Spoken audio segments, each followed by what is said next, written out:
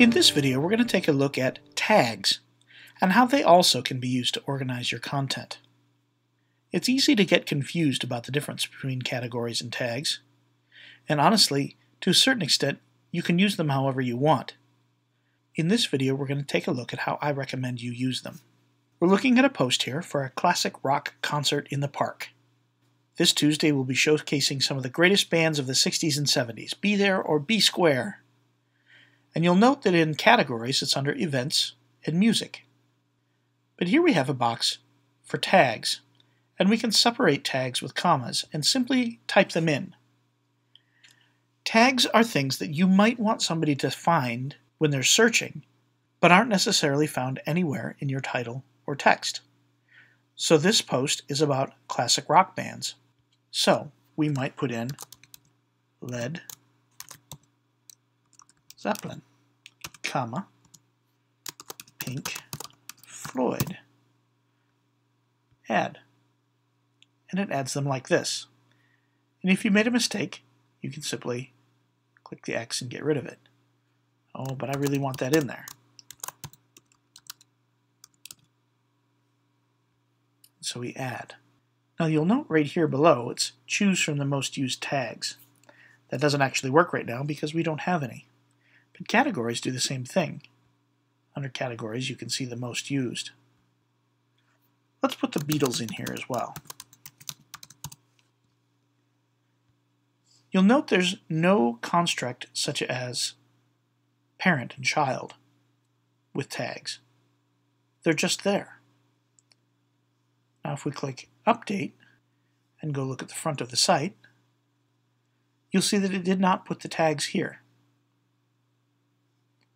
we click on it, you can see them right on the post. And then you can even click on a tag and see all the posts that are in that tag. The URL is slash tag slash Led Zeppelin. Now you may not ever end up with another post with a tag of Led Zeppelin. This one might be all by itself. However, if somebody comes searching and put in Led Zeppelin. Now you may not ever have another post with a tag of Led Zeppelin, but this one is here, and Google will find it. And if somebody does a Google search for Wordville Led Zeppelin, they will find this page because you tagged it, even though the words Led Zeppelin are not in this post at all. Over on the left in the admin area is the tags link. And this works very much like the categories page. There's a bulk actions option. Its only choice is to delete, so you could delete a number of tags that you aren't really using anymore. Over on the right, there's a count that shows you how many posts are in each one, and you can click to see posts only in that tag.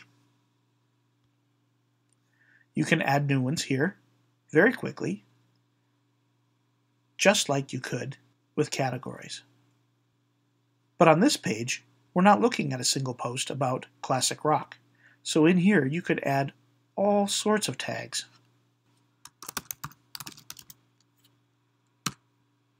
There, now we have one about a playground. Let's go to All Posts and go to New Construction Project. If we come down to Tags, you'll see we don't have any options we could choose from most common, and it's not there. However, if we type P, L, it searches ahead for us and shows us tags that already exist. So we can simply click Add. And now if I update, this post has the playground tag. We'll go out to the front of the site, click on construction, and there is our playground tag.